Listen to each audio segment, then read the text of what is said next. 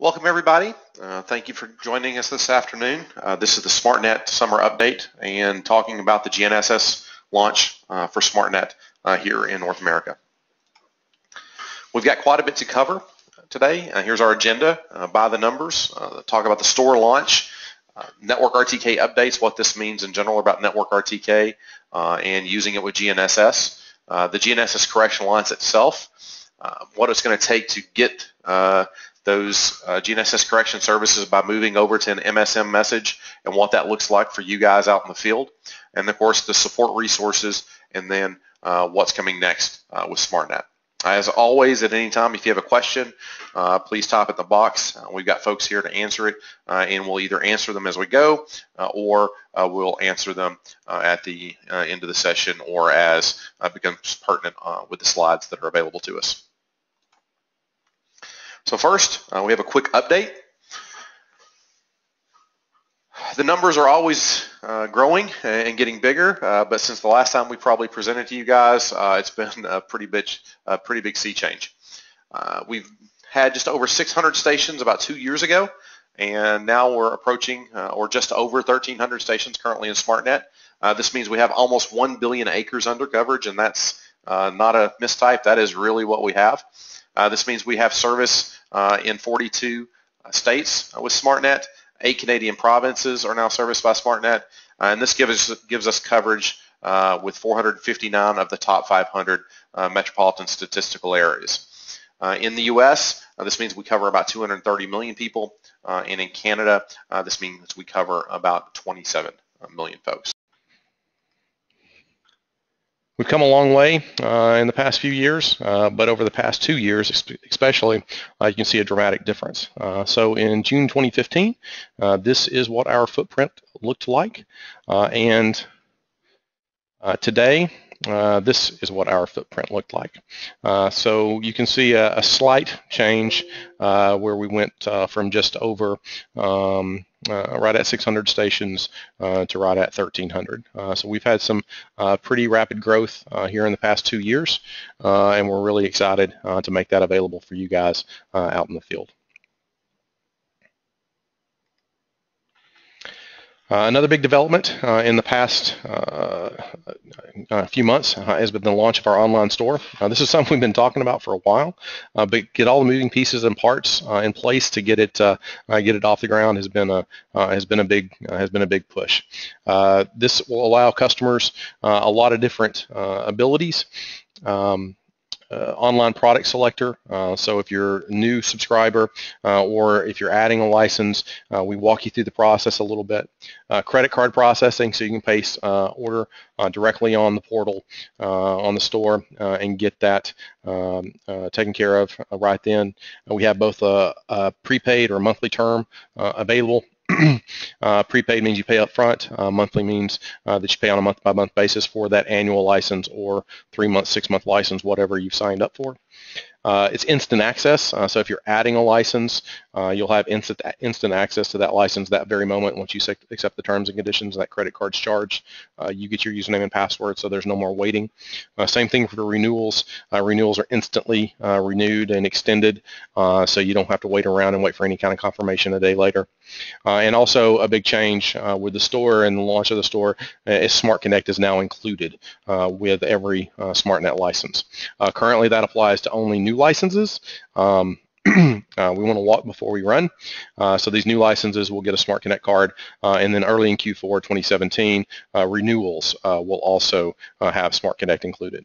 Smart Connect is our data package, so that means you don't have to worry about data services anymore.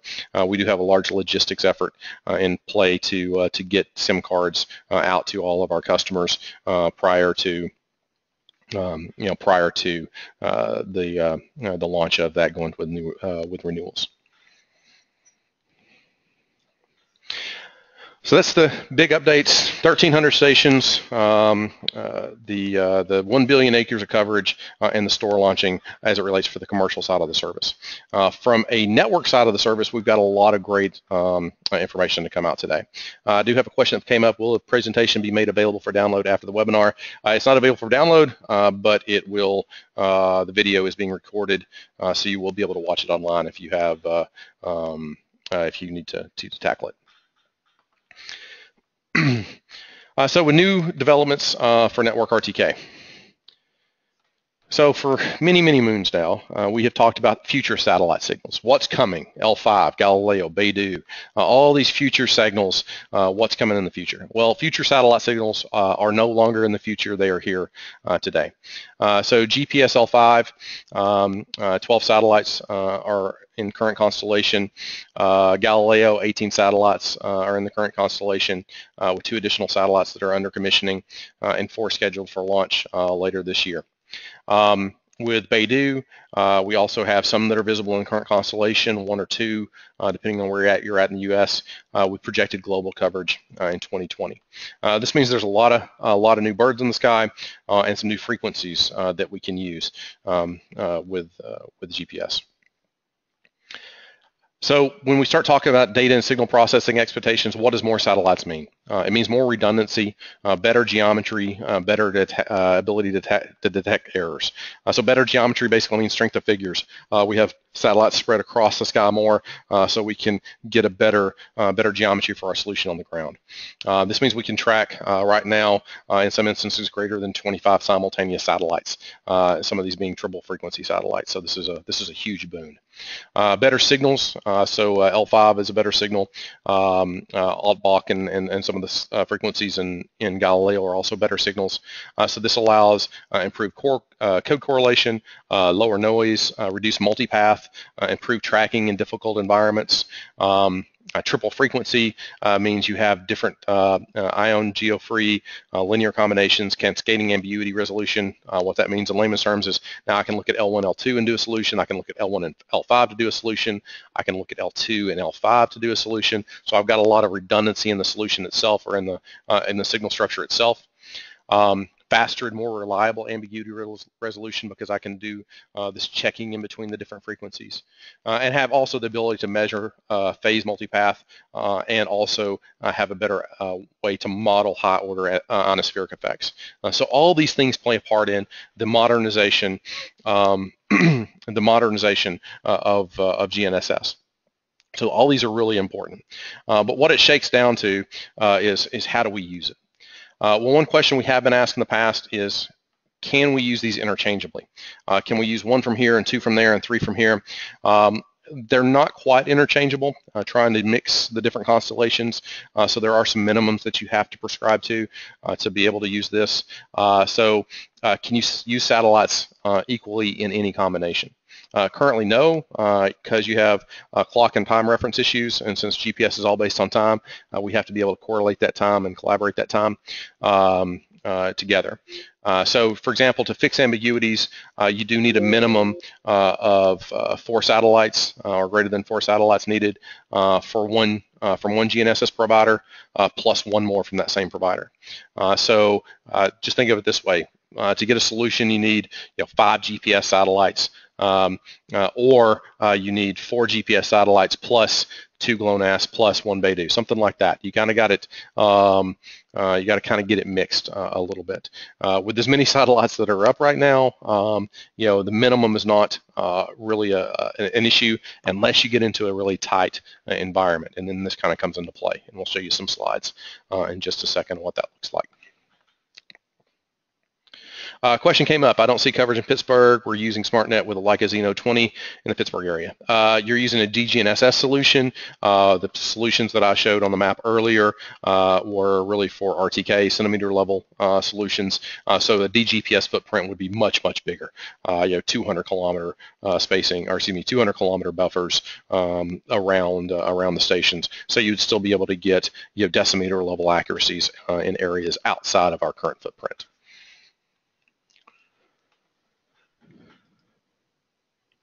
Um, but what does all this really mean uh, to you guys out in the field? Uh, quite simply, uh, more satellites. Uh, so you'll have better availability in canopy or canyon environments.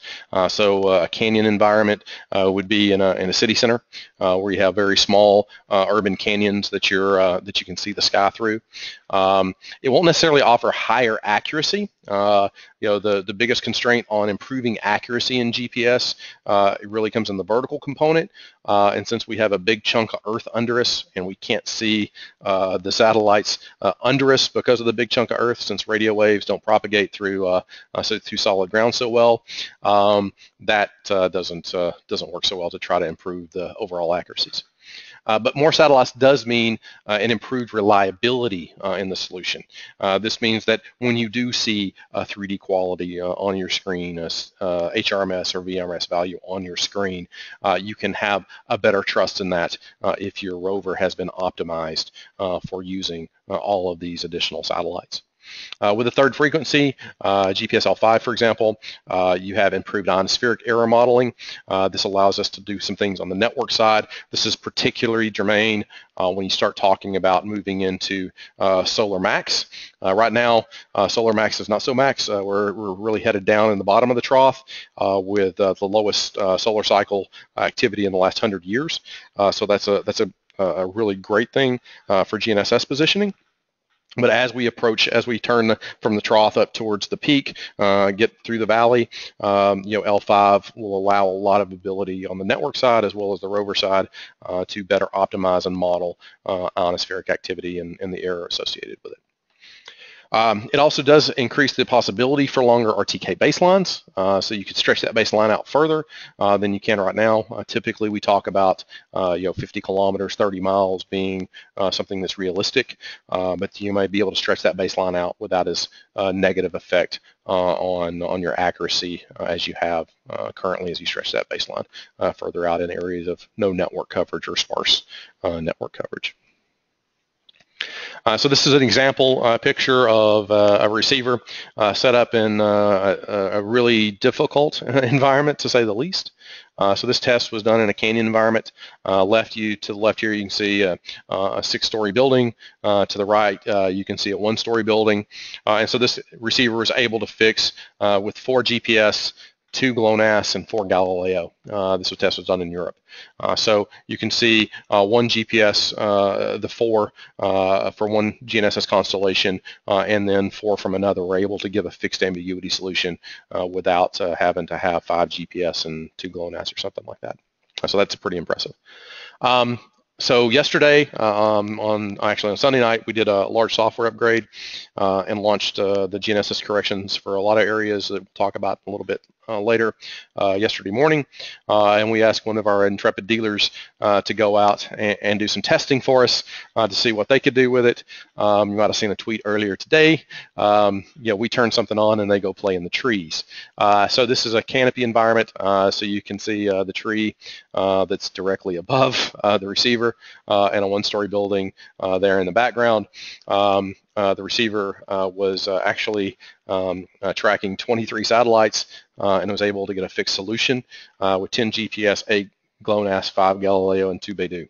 Uh, so uh, a pretty impressive shot, uh, and this wasn't just one shot, it was multiple shots during the day to make sure that the shot he got was accurate. Does the minimum force SVs have to be GPS? Uh, technically, that really depends on your rover. Uh, on the network side, we do require GPS uh, to, uh, to do what we do on the processing algorithm side, uh, but from a rover perspective, it really depends. Uh, a Leica rover, for example, does have the ability to um, uh, fix ambiguities uh, as long as you have four minimum uh, with any constellation. but I think you'd be pretty hard pressed to find a chance where you don't have four GPS um, uh, satellites available and four Galileo, for example. So uh, technically speaking, no, uh, but it really does depend on the rover and the rover algorithm, rover algorithm used to do RTK fixing. Um, so that's more of a rover side question. So um, that's a quick brief. Uh, a lot of new satellites up, a lot of new frequencies available, a lot more coming, uh, and what it means on the rover side. Uh, but to be able to use it on the rover side, there's the other part of the equation, uh, which is the network. So when we talk about uh, real-time networks, uh, we really talk about five main components uh, of real-time networks. Uh, first being uh, the GNSS reference station infrastructure. Uh, that, of course, is, is, is ultra important. Uh, the IT infrastructure, uh, the correction service itself, so this could be the software and service platform, online tools and resources, and then, of course, the support and development teams on the back end. Um, to be able to offer a GNSS correction, the infrastructure, the GNSS infrastructure, so the receivers out in the field, uh, the IT infrastructure, uh, the service and software platforms uh, must all be capable uh, to, uh, uh, of a GNSS solution to provide a GNSS network correction. And not one piece can be left out. and so it's really critical to understand um, you know, what, what that looks like. So from an infrastructure side, for so from a field perspective, what's in the field right now as far as the 1,300 stations in, in SmartNet? 99.99% uh, of SmartNet is GPS and GLONASS capable. Uh, there's a couple of stray uh, uh, uh stray uh, units and the outer reaches of SmartNet uh, that are just uh, that are that are just GPS. Um, uh, at one point, we'll get around to updating those uh, those couple, uh, but we made a pretty big dent um, when we updated about 10 stations earlier this year. 70% of SmartNet is GNSS capable, meaning it's capable of tracking GPS, GLONASS, Galileo, and Beidou. Um, and we're 100% GNSS capable uh, in these markets. So California, Connecticut, Dakota, Delaware, Georgia, Iowa, Kansas, Maryland will be done uh, sometime in July. Uh, Louisiana, Metro Boston, Metro Denver, uh, Minnesota, Missouri, New Hampshire, New Jersey, uh, again, will be done uh, when crews get back out into the market uh, in July. Uh, North Carolina, Oregon, PEI, Rhode Island, Texas, Virginia will be uh, in, in, July as well, Washington and Wisconsin. so a lot of different areas. we now cover 100% GNSS, and of course, as always, we are committed to getting to full GNSS capabilities in all of our coverage areas um, at uh, you know, at the as soon at the earliest possible date. Uh, when will GNSS be available in Northern California? Aaron, hold on to that question, and we'll see in just a second. Um, on top of the GNS infrastructure, uh, you also have to have the IT infrastructure um, and the software uh, service platform. Uh, moving to full GNSS capabilities means more processing power. Pretty simple. More satellites means more processing power, uh, more memory because of that, more bandwidth. You have you know 30 to 40 percent more uh, data uh, coming in from uh, from the infrastructure, uh, so you have more bandwidth taken up, uh, and then more storage because you're storing more data from the receivers in the field. you really have to harden and optimize your entire IT stack to prepare for this. to give you an idea, we just doubled our CPU capacity um, and almost doubled our RAM capacity. Um, uh, you know, to to handle uh, these upgrades uh, that have been going on here uh, in the past several uh, past several months to get ready for today uh, to talk to you guys. Um, so all of this has to be done in concert between the infrastructure and the IT platform, uh, and then you have the software, the platform itself, which we upgraded um, on on Sunday night. Uh, so currently, uh, this is uh, the coverage that I showed uh, just a little while ago. Uh, if we now take our red and we turn it gray magically, uh, this is our GPS and GLONASS coverage that we can offer today. And this is our GNSS coverage as it stands with GNSS capable receivers. so we do have some additional work that we need to do uh, to, uh, to, to finish this out. Uh, so we're not launching full GNSS all in these red areas just today. We're going to talk about that in just a second. Um, uh, because we have codes and firmware and some other things that has a little longer lead time to get all that done, uh, as well as uh, to make sure that we have everything in place before we turn on uh, a 30 to 40% greater load um, uh, just right out of the box um, and not detrimentally affect the user base as a whole. so Aaron and Robert, your questions about Metro Denver, I hope you can see right here. this is what we consider Metro Denver. that does get it down in Pueblo. We do some outlying stations east and west of Pueblo that uh, uh, that aren't GNSS capable receivers right now. Uh, and then of course, as you get past, say Wellington up to the north into Wyoming, that area is not GNSS capable at this time, GG only. Um, Question is, uh, is Cape Cod in the mix for Massachusetts coverage? Uh, not at this time. This is the current uh, footprint, uh, probably for the rest of the year of GNSS uh, in uh, in in the New England market as it stands right now. But we are now fully GG in the, uh, we are fully GPS and GLONASS capable uh, in the Massachusetts, Maine, New Hampshire, uh, uh, markets that we haven't been in the past. So we've made a sizable investment uh, since taking over the MTS network uh, to uh, to get it up to uh, full GG uh, as well as full infrastructure grade equipment. so I think you can see that as you as you start using the network up there, you should see pretty pretty great performance. Um, so we're going to be rolling out uh, complete GNSS coverage uh, over the next two to four weeks, um, you know, to make sure we balance everything right. We get the load balance and the clusters are balanced for optimization uh, because we are putting a whole new uh, set of load uh, onto the infrastructure. Uh, there's not a real good way to simulate this. with 1,300 stations, you kind of got to do it as you go. so we've picked some key areas to start with. Uh, so available immediately for uh, GNSS uh, is the Connecticut market, uh, the Delmarva Peninsula, so uh, Delaware and the eastern shore of Maryland, Georgia, the lower mainland BC, Metro Boston, Metro Chicago, Metro Dallas, Fort Worth, Metro Denver, Metro Houston, Oregon, PEI, Rhode Island, Southern California, South Texas, the Valley in Texas, Washington State, Wisconsin, and West Texas. Um, so if you're not on this list, uh, David, uh, then uh, you are not under current GNSS coverage. Uh, so we will be rolling that out uh, you know, for, for our folks in Canada, uh, this will be a little slower roll because there are a lot of receivers that are not GNSS, GNSS capable in um, in Canada. Uh, you will have pockets of GNSS single baseline, uh, and you may have pockets of uh, GNSS coverage, and we will be posting maps on the website and the portal to be able to reflect where you can expect to get GNSS coverage. Um, but you know, some of these are approximations um, because you know if you're in a network coverage area, for example, and you have eight stations uh, that are GNSS, uh, and you have one station in the dead middle that's not. Uh, you could still get GNSS coverage for most of that area, but the moment you get uh, that one station is your master uh, and it's not fully GNSS capable, uh, you know, you'll see, you know, the European, the Galileo and, and, and, and the Compass, or Chinese Beidou, um, uh, you know, numbers drop on your screen. So don't be freaked out by that.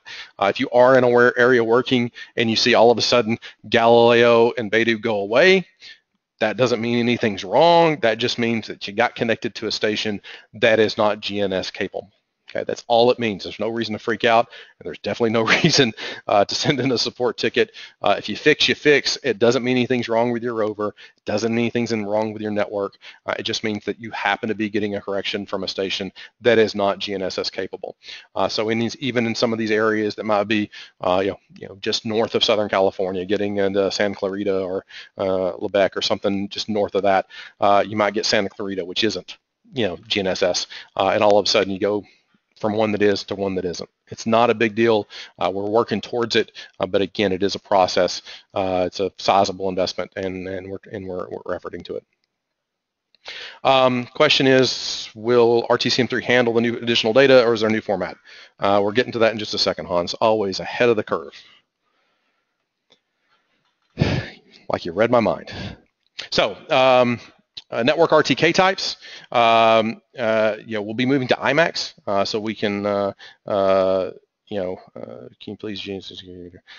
currently, uh, I'll wish we'll again, uh, we'll be posting uh, maps online to talk about GNSS uh, in uh, in in the areas. Uh, but if you are not currently um, on this list right here, uh, you don't have GNSS connectivity for the for the immediate future, or if you're not in the earlier list, again, we'll post these lists in the in the support forums for you guys so you can peruse it to see where it is, and we'll also be updating network coverage maps um, so uh, uh, to uh, to reflect this, so um, you know you can go to the coverage maps. You'll be able to go to the support forums and see exactly where and when things are going to be upgraded. you know, asking, um, you know, sending support tickets in. You'll be referred to those as well. so you know, use those as tools and use those as as leverage for for what you need. Um, so with IMAX. Uh, so just so you know, um, this is a big change, a sea change for us. Uh, for the last uh, few years, uh, since the launch uh, of SmartNet, uh, we've really been talking about MAC, the Master Auxiliary concept. you'll notice we're not going to talk about it a great deal today because the Master Auxiliary concept is not compatible with GNSS corrections. this has nothing to do with SmartNet. this has nothing to do with any individual network provider. this has to do with Special Committee 104 not having ratified a standard for the master auxiliary uh, uh, uh, correction that will account for or allow for L5, Galileo, or Beidou to be used. Uh, so this will push us to be uh, using IMAX or, or, or VRS as a solution. Um, you know, our preference is of course IMAX because of its strengths over VRS, but it will allow for um, uh, using the RTCM 3.2 uh, multi-signal message MSM uh, to actually be able to do uh, a network correction uh, with the GNSS corrections uh, involved. Uh, so an individual, uh, a network, excuse me, a SmartNet IMAX solution is individualized master auxiliary concept. So you take the strengths of a MAC solution and you roll it into a correction that looks more like a single baseline, but it is modeled and it is affixed for those network correction parameters. Uh, this is individualized for each individual rover out there, uh, and it's a format that's alternative to VRS or MAC. Uh, it does support GNSS signals uh, using RTCM 3.2 MSM, uh, and SmartNet IMAX does still produce baselines from real reference stations only, uh, and it is still traceable and still repeatable, just like a MAC solution. It's just offloading that calculation ability from the rover up to the server, but you don't have the same um, um, uh, you don't have the same negative effects uh, that you do with a VRS solution, uh, which is a short baseline and not traceable back uh, to a real reference station, and you don't have those repeatability issues uh, that you sometimes experience with uh, with a VRS in the vertical. So how VRS work, or excuse me, how IMAX works is very similar to MAC in that you have your series of stations. They're going to raw data stream all of their data back to our central data facility. Uh, and once that happens, uh, we still compute a common ambiguity level. Again, when we talk about a common ambiguity level, uh, it means the common satellites. So if you don't have all common satellites that are GNSS, you can't fix ambiguities across all those satellites, uh, and then you can't offer a network correction uh, that that doesn't have um, you know, that has all those satellites that some of them would have. Uh, so if I'm up here in, in this station up in the uh, up in the upper left hand corner uh, is GPS uh, and GLONASS only, and I get up here uh, in this uh, area up to the up to the upper left, then I'm going to fall into a GG GPS and GLONASS solution as opposed to a GNSS solution. Uh, my rover goes out to start to work. It sends its NMEA position uh, into the network, uh, and the network uh, computes an IMAX solution. Uh, the IMAX solution, again, is not just a single baseline off the station uh, in the lower left. it is actually a network-corrected baseline solution accounting for all of the atmospheric errors, ionosphere, tropospheric, satellite orbital error that you would experience in the network. So again, we're, we're mitigating that PPM error that you would experience. Uh, if you saw a MAC solution, uh, you'd have a master solution off the station down here, and then you would have your auxiliaries, your your your correctors, your auxiliary correctors. This is just handled by the network. So the network, uh, you know, interpolates the information and then sends you a network modeled solution uh, from that master station. Um, if I move and I move up here uh, into the upper left, for example, and this is a GPS G, uh, GLONASS uh, station, uh, then when I get my IMAX solution, I would get a GG uh, network solution as opposed to a full GNSS uh, network solution. So you in that in that case, you might see your Galileo and your Beidou satellites drop off of your solution. Again, it's nothing to be alarmed about. It just means that this master station up here in the upper left is a GG only solution. Um, you can keep working just like you always have. It just means you're going to have less satellites uh, to work from.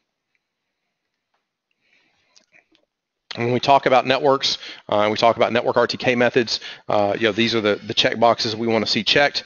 Uh, and the two uh, that are most important most of the time uh, are traceability, traceability and repeatability, and are they consistent? Uh, so IMAX offers the same strengths as MAC, where yes, it is a traceable and repeatable solution. It means that I, when I look at my data, I'm getting a, a, baseline from a real reference station that I can go back and look at. I can look at the metadata for that site. I can look at data quality from that side. I can look at it all. It is consistent because I don't have a virtual station bouncing around on me. I'm always getting corrections from a real station, so I can consistently get good horizontal and vertical answers.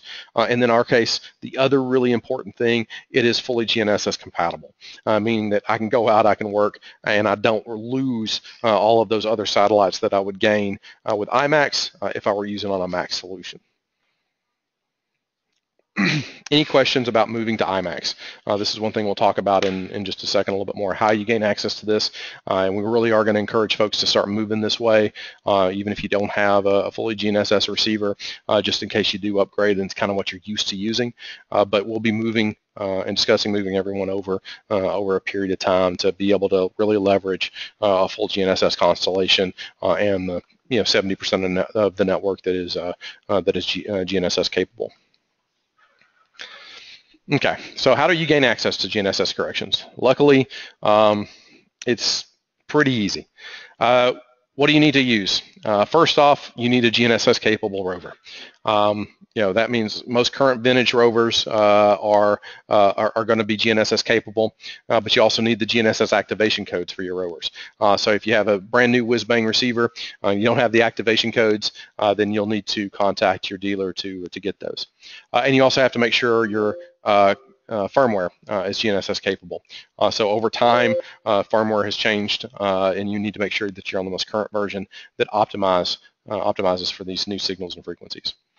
For example, a Leica GS16 user would need the multi-frequency option, so that allows L1, L2, L5.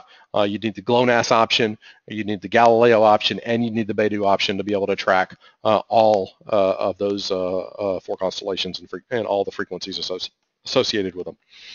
Um, additionally, that user would need to upgrade to the newest version of firmware. Uh, I think it has been announced um, in the last couple days, uh, but you would need the uh, SmartWorx Viva firmware version 6.15. This is the GNSS receiver firmware uh, aside from the controller software uh, that you'd have to make sure you upgrade, update. Uh, we have a knowledge base article uh, that kind of outlines this and starting to put it together. Uh, so if we know what a receiver needs uh, to be able to get to GNSS, uh, we will post it on this knowledge base article and we will try to keep it updated uh, to the best of our ability.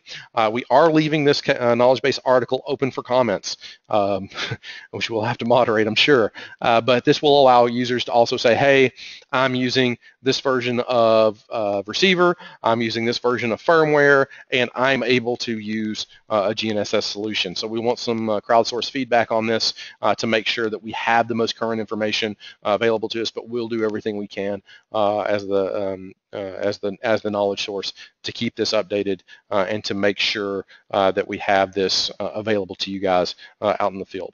Um, this will be a, a page as, as, well as the um, where we have GNSS coverage. you know, it will it, uh, it'll allow it.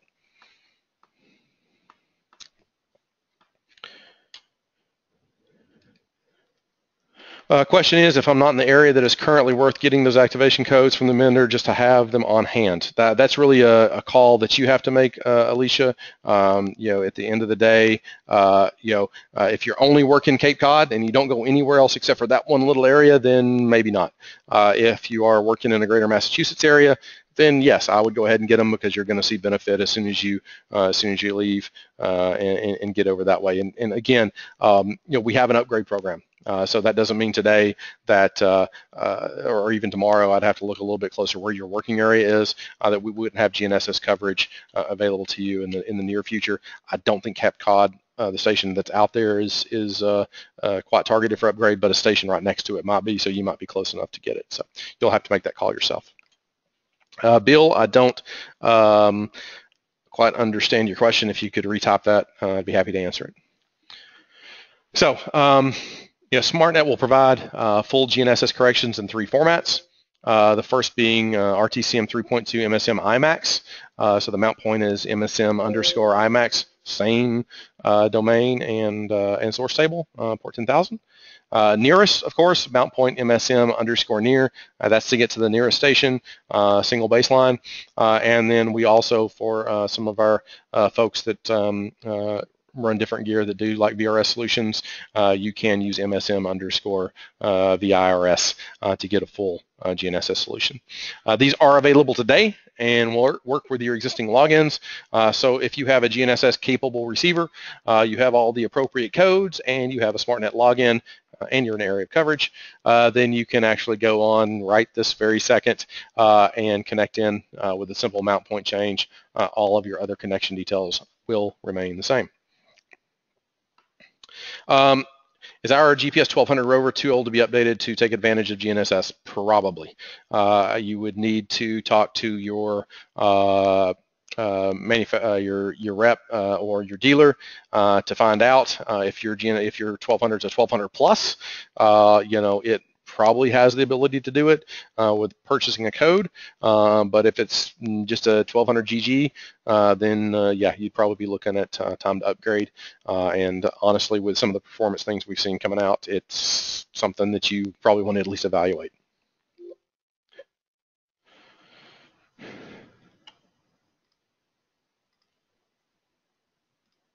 Okay. Um, oopsie, back up one. There we go. So uh, what mount points do we recommend? Uh, this goes back to a second, uh, a second ago. Uh, what mount points do we recommend? Um, for the MSM underscore IMAX, so the IMAX MSM message, uh, really anyone with a GNSS capable rover, this would be our first recommendation, even over VRS. Um, uh, anyone currently using RTCM3 underscore IMAX, just as in general rule, go ahead and move over to this. Uh, once you get accustomed to using it, uh, you know, if you do have an upgraded receiver, you do buy codes later on, uh, or you know, if you're in an area right now that's not supported but will be supported soon, uh, you know, boom, it'll go live and you'll start seeing them seeing it immediately. Um, anyone that's not sure about Mac optimization uh, on their rover, uh, some rovers have never really been fully optimized for Mac. Uh, you know, this would be what we would tell you to move to. Um, anyone still using a nearest, nearest solution uh, in a network coverage area, please, please, please, please, please, please move off of nearest and get to IMAX. And if you're changing, you might as well change to MSM IMAX. Uh, is there a real big difference between RTCM3 underscore IMAX and MSM IMAX? If you have a GG only receiver, uh, GPS GLONASS receiver, you won't see a big difference. It's just if you do ever do go to GNSS, you will. Uh, but this is really, uh, we've taken over some networks lately uh, that have really been hung on nearest for some reason. I, I can't stress enough the performance impact going to a network solution will have for you guys using nearest. If nearest is the only thing available if you're in a pocket uh, that only has a station, I understand using nearest, but if you're in an area that has network coverage, then you got to get to a network solution. That's the whole purpose of what we do. Uh, so please move to it. Um, focusing on you guys up in the New England area, a lot of you guys are still using nearest. Get over to IMAX. Uh, you'll be a lot happier for it. Um, and really any and all can move to using uh, MSM IMAX. Uh, this is a good move to make. Uh, you know, now's the time if you're if you're thinking about it, go ahead and take that jump. Uh, and then that way, you know, as you upgrade codes, as coverage comes to your area, you don't have to worry about it. Um, you can just be ready for it.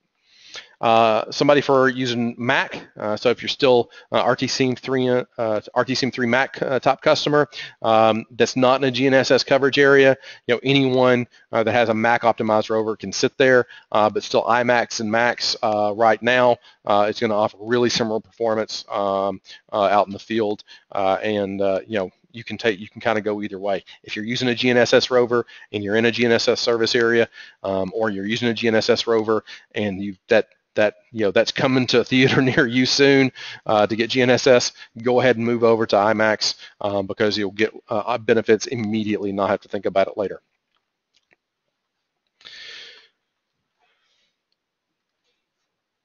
Um, for nearest, uh, anyone using a currently a single baseline mount point, um, uh, that's who's going to use MSM nearest. Again, anybody using nearest right now should uh, should evaluate should they use it or not.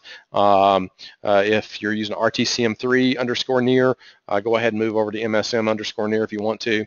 Uh, near should be used in areas without networks uh, or in case of a network fixing issue. Um, so uh, if you see something that you're having a network fixing issue, uh, then you can always switch over to nearest to, to get it. If you see a fixing issue, yeah, please drop us an email. Uh, say, hey, I'm having a problem with the solution in this particular area, and let us look at it or evaluate it to see what's happening. Um, if you're using Mac, you might also move over to IMAX to see what kind of solution you get. Uh, as a difference. Um, uh, you know, so you know the there's a lot of different options. Uh, what do you mean by network phishing issue? Either uh, you're seeing issues with your fixed characteristics of your rover. Uh, so this means uh, you're out in the field and you're not seeing a good solution for some reason. You're connected in and you're looking and you're getting data. Uh, you can always go to nearest to see if you get a solution. Uh, there could be a station that's causing a problem. the, the network itself could be not fixed or having problem fixing. and so instead of giving a bad solution, you're just you know not able to fix appropriately. but if you see this in the field, let us know. you know this is so you know we can look look at uh, look at it on our side your particular area, your particular time, uh, and of course, the faster you can do that, uh, the more likely we are to see the issue. The the good thing about fixing issues in a network is they're usually passing. Um, you know, so they, they kind of come and go uh, if there's something happening.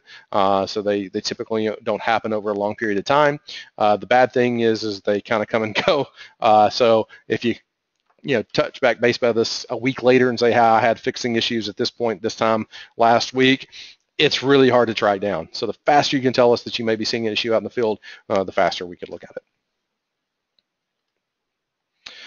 Again, I'm going to belabor this. If you're in a network coverage area, please move to network corrections, be it MAC or IMAX. Uh, please move to a network correction. Uh, this will make a huge difference um, in your normal day-to-day -day operations, and you can always use nearest as a fallback if you need to. So for folks using not using RTCM 3.1 or higher, we know that you're out there. Uh, they're still on RTCM 2.3 that are on CMR or CMR Plus. Just so you know, you are only getting GPS corrections. There are no GLONASS. Forget about anything else, uh, any of the other corrections. Uh, you're only getting GPS only. You're not even getting GLONASS. Um, and there's no possibility to use anything other than GPS. The network formats themselves don't carry components to allow for fixing on other GNSS solutions uh, with RTCM 2.3, CMR, or CMR Plus. Uh, if you're using these and your equipment supports it, please move to a more modern correction format and type. Uh, this is really important. We see folks that are using CMR Plus. Um, that means that you're only getting the GPS solution. Uh, it means you can't use GLONASS. We can't we can't send out the type of receiver uh, that you're getting it from, so your rover can't model the GLONASS biases uh, in the receiver. Uh, this means that you can't use it uh, for GLONASS, so please don't do that.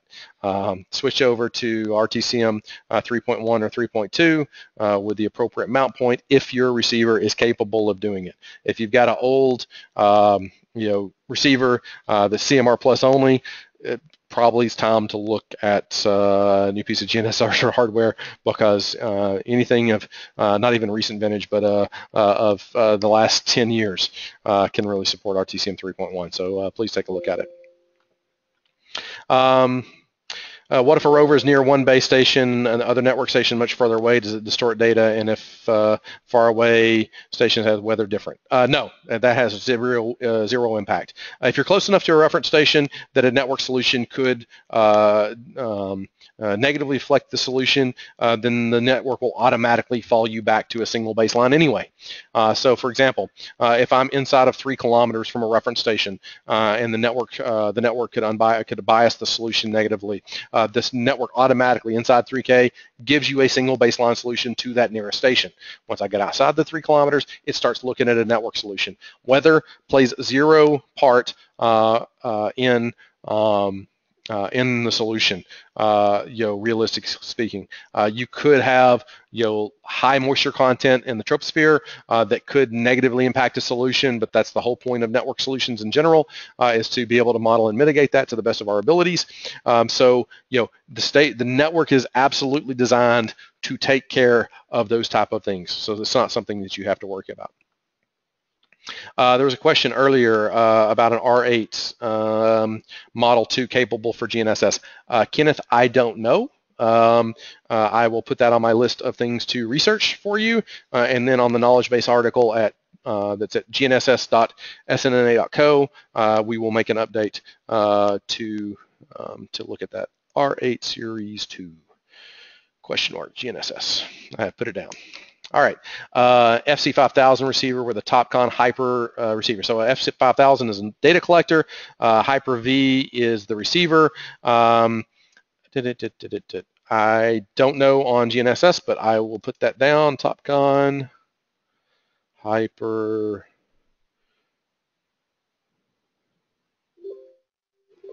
V. Okay, I will find out. Uh, and again, uh, even if your R8 or your HiPer V uh, are GNSS capable, um, you will need to make sure that you have the appropriate licensing codes uh, to turn that on uh, if they are GNSS capable. But I'll find out and let you know. Uh, okay, so the question is, if I'm able to currently use RTCM IMAX or RTCM Near, do you think I can move to GNSS? Uh, no, I don't. That, uh, that that pays no bearing right now into whether you can move to GNSS. It would depend on your receiver type. Uh, it would depend on your activation codes. Uh, but there would be no harm whatsoever uh, moving to MSM underscore IMAX uh, as your solution. If you can use GNSS, you'll automatically get it. If you can't, then you can start talking to a dealer or support to find out what type of receiver you have and what what it's capable of doing. Uh, so I, like I said, if you're capable, uh, if you're using, um, back up a couple slides here, if I can find my mouse cursor. Yeah, if you're capable of using uh, you know, a correction, I would go ahead and move to MSM underscore IMAX. Uh, this means that you will find out if you're capable of using it or not. Uh, you won't have to cause a lot of problems, and it's just a mount point change, uh, so it's not a big, humongous, gigantic change uh, to uh, to make that change.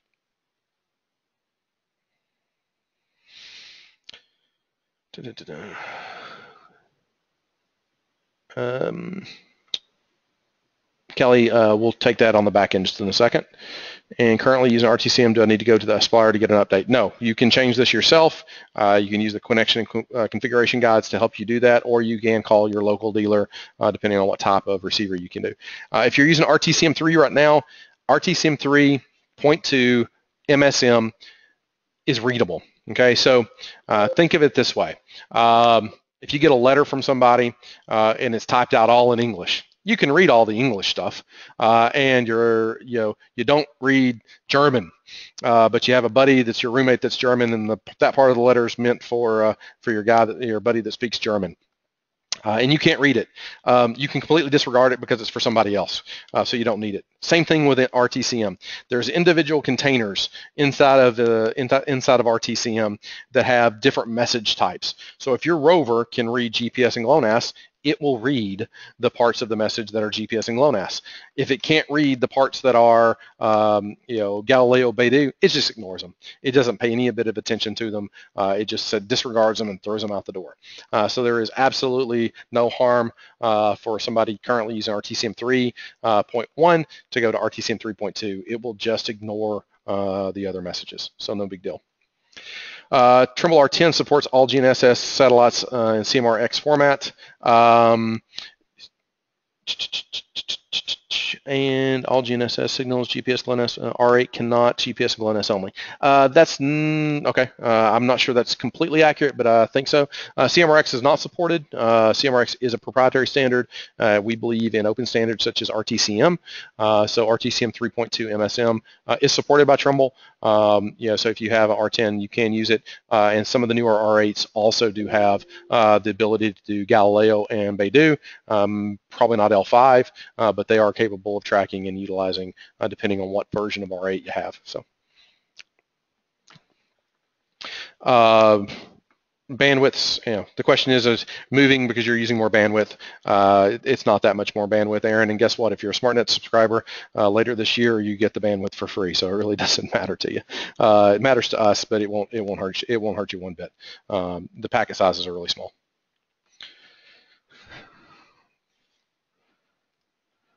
All right. So I'm, I'm going to say this one more time. If you're in a network coverage area, please move to network corrections. Please, please, please, please, please. Uh, it'll get you better accuracies. And hey, I get another chance on this too. If you're using something older, you know, move to 3.2 uh, 3.2 if you can. Uh, it'll allow you uh, a lot better, uh, a lot better support of the current satellite signals, uh, GPS and GLONASS, and also what we're launching today uh, with Beidou and, and Galileo if your if your rover supports it. So support resources, uh, as always, uh, this is uh, this is us. We're here. Uh, we are here for you. Um, use the portal. Uh, if you haven't checked it out and you go to support.smartnetna.com, uh, it will take you to a nice little thing and it has a lot of great information on it. Uh, and we encourage you to go here to get questions answered.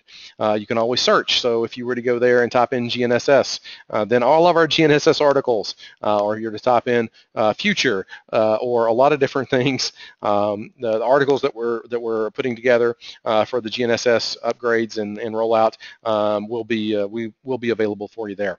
and if you can't find what you need, email us, uh, support at smartnetna.com. Uh, you know, email us here and we're going to get back to you. Uh, question is how fast? Uh, we try to get back to you just as fast as possible. Uh, so this is a metric over the last 30 days. Uh, our average first reply uh, is 1.57 hours, uh, with 76% of them uh, handled uh, within the first hour. Uh, just so you know, if you get a more delayed response, uh, something in the 14 or 10% range out there, that typically means the question is, I can't work, I am down in the field. if you send the I can't work, I'm down in the field question, 76% of you guys get answers back just as fast as our little fingers can type. Um, uh, South Texas would be the Valley. South Texas is available right now. Uh, San Antonio, uh, we've got some firmware upgrades to do, so it's not available just yet. Uh, but uh, you could go out and you could work, and you would probably get GNSS in some areas, but in other areas you'd see your your Galileo and, and Beidou start dropping out. So we're not saying it's 100% yet. All right, so wrapping up. Um, we always like to wrap up uh, with this uh, at the end um, because uh, we feel it's really important for you guys to understand uh, why we do what we do uh, and what decisions we make and what kind of drives it. Uh, so our commitment is, is pretty simple. we're committed to providing high precision, high availability network RTK corrections. we're provided, we're committed to providing this in a network industry standard, RTCM. Uh, we're provided to doing it for all precision industries, survey, engineering, monitoring, GIS, agriculture, construction, UAVs, you name it, we do it. Uh, provide this in a stable and reliable infrastructure on a standard reference frame. Uh, provide a complete customer experience uh, from support and services uh, to online tools. Uh, so we want to do this for everybody, and this is how we make a decision on anything that we do on a day-to-day -day basis. So we, you know, this is what we commit to you guys, and hopefully we're living up to our commitment. Because if we're not, let us know, and we'll do everything we can to try. So with that, we've got about eight minutes to answer some questions. Hopefully answered most of them as we go. Um, uh, so we got another question here. Uh, my broadcast format lists multi-station RTCM3 uh, or I have a station for RTCM3 net. Which one would I have a better choice? Um, on a Trimble, probably multi-station uh, RTCM uh, would be the best choice, uh, or just straight up RTCM. I know that there's a, a choice for straight up RTCM. Uh, RTCM3 net is uh, a MAC solution, uh, so that would you would expect to hear the master station corrections, and inside that RTCM message, you would also expect to hear the auxiliary corrections in their different little message containers that come through. Um, and if you don't, it just doesn't work. so I would try multi-station RTCM3, but depending on the version of software software and controller you have, uh, we do have a quick guide um, uh, up on the website uh, that uh, you can look at that actually tells you exactly the choice to use. I just can't remember off the top of my head. So I had another question a second ago. Let me scroll up here. Um, RTK precision versus static, trying to determine if we're good to use RTK over static for control um, using our total station. Uh, yes, you can use RTK over static. It's just a matter of how you do it. Uh, typically, what you would recommend, what we'd recommend it to do uh, is kind of depending on the type of control that you're trying to set. Um, uh, are you setting temporary control, uh, meaning that uh, I need to drop a pair of points to turn into a difficult environment to take a shot with my total station, or am I setting permanent control for that project that I'm going to come off of time and time and time again. Uh, so it kind of depends on what you're doing. Um, they both start the same way, uh, which is one occupation. Uh, and that occupation is typically going to be, uh, say, 180, 180 epoch, uh, or say a three-minute occupation of averages uh, that just averages over that three minutes time span. if you're just dropping a pair of points, then you would take your first shot for your, your occupy point, uh, go uh, for three minutes, and then walk down to your, your backsight point, you know, take a three minute observation, uh, and then set up with your total station backsight and turn in and shoot. Um, if you're talking about permanent control, then you would take your first observation for three minutes, you walk down downrange to your other control point, you take your other three minute observation, and then you would wait four hours, and you would come back and do that again. Uh, the real key here is to uh, see a statistically different constellation. Uh, in the past, uh, when you're blue booking points, for example, with GPS, uh, this would mean an afternoon observation, a morning observation, and then a you know you know offset afternoon observation or morning afternoon morning, just depending on you know how you were doing it and how you got out there. Um, you can do the same type of thing uh, with RTK now, uh, especially network RTK, uh, because uh, at the end of the day, uh, we're also modeling ionospheric air, tropospheric air, and satellite orbital air. Uh, so to see a statistically different constellation and to not have those effects uh, impact us quite as much, a four-hour uh, four-hour gap between those two observation uh, intervals uh, is plenty of time to be able to get measurable accuracies that you can say, okay, I can trust this as an RTK shot. Um, now, the one key element here is, you know, don't take a three-minute observation and topo, topo, topo, topo, topo, topo, topo, and then another, you know, another three-minute observation on your backstop point. You could see a difference uh, that you could measure, uh, especially for uh, uh for that temporary control. We were trying to drop two two in a line. Uh, do occupy and then move down range, occupy, and then topo uh, on your way back or something like that. Um, but as long as you do three minutes, um, you know, uh, three minutes on one, three minutes on the other, and then come back four hours later, uh, then yeah, you should be able to do that versus doing uh, doing static uh, and get similar results. Um, all right, questions coming fast and furious. Uh, what was the website address for the knowledge base article? How about, how about we just go back that direction? Let's go here. Here we go. Um, so here is the knowledge base article uh, for your rover compatibility. Uh, we've just started working on this um, of the things that we do know. Uh, if you see something, you can post a comment or you can email us. We'll add it. Uh, so HTTP uh, gnss.snna.co. Pretty simple.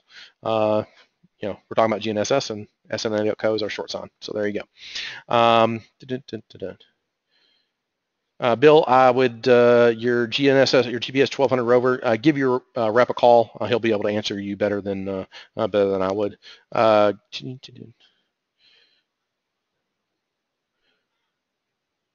let's see here. I have a device, networking trip, SmartNet Texas, VRS is okay, or do I need to update um, in the San Antonio. It depends on what you want to do, Gary. Uh, if you are have a GNSS capable uh, Centurion, I don't know anything about that receiver, but I'll take a peek at it.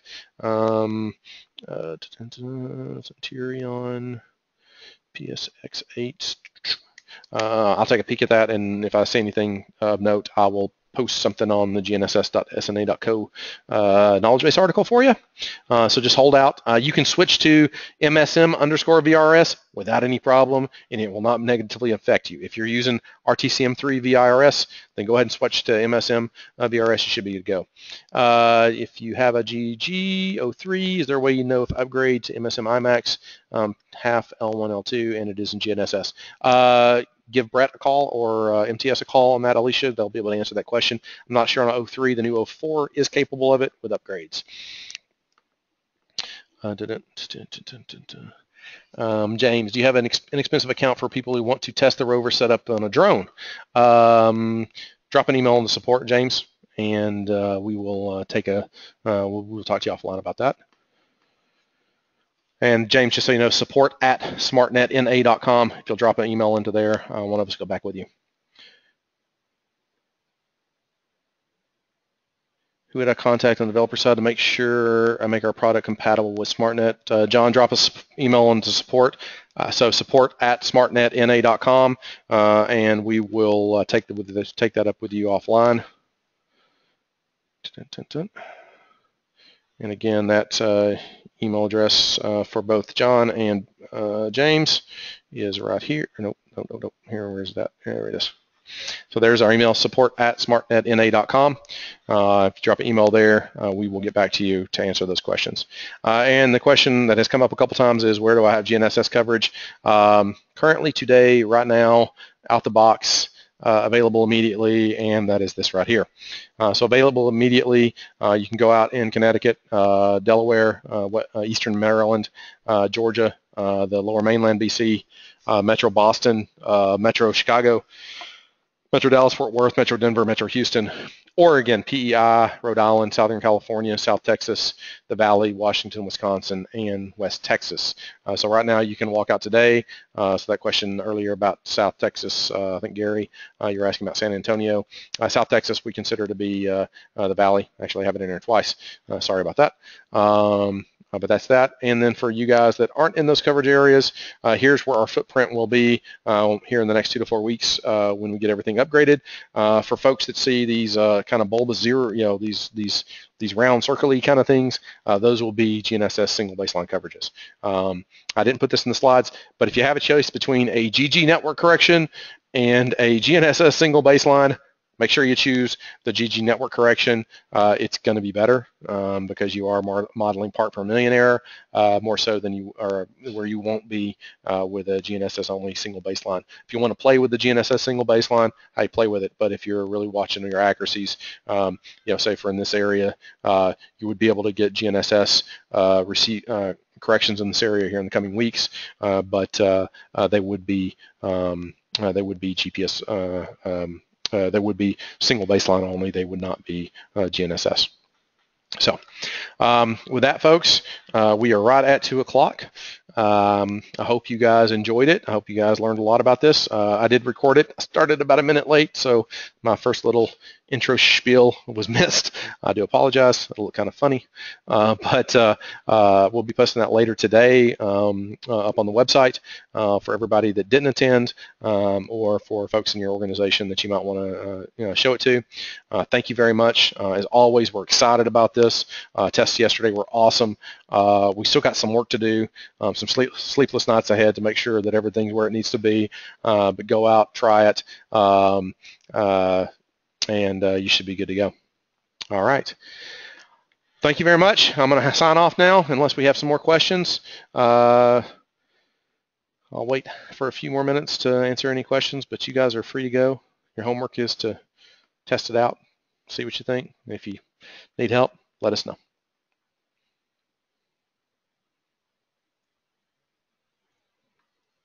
All right, not seeing any questions roll in.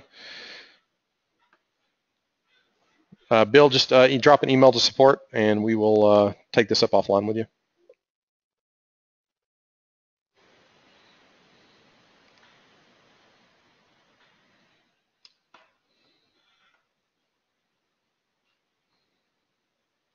Um, Alicia, you can email us uh, or uh, you can uh, give uh, uh, MTS or Leica GIS a call on your your GG03. I don't know off the top of my head, um, so I would actually be probably emailing somebody else to find out. Um, but you can also refer back to the um, the knowledge base article that will be updated shortly because I will find out about that, and I will make sure uh, that it get post, gets posted um, uh, at the uh, uh at the appropriate uh, place. Uh, so at least you can refer to the knowledge base article um, probably tomorrow, and I'll have an answer for you up there, or you can email us or probably contact MTS, and they should be able to tell you. Bill, um, GR8. If you can email me exactly what you have. Uh, if you have a Trimble R8, uh, then um, like I said, I'm going to check on the R8 Series 2 uh, and post it up on the knowledge base article. Uh, the current, uh, we'll just go here into the knowledge base article for a second. Oh, darn it, didn't work. Uh, da, da, da,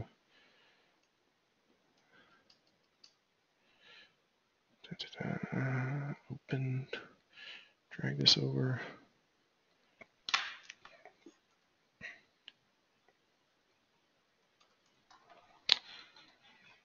come on. Sorry. And we get a DNS error, of course. My machine's not acting right, sorry.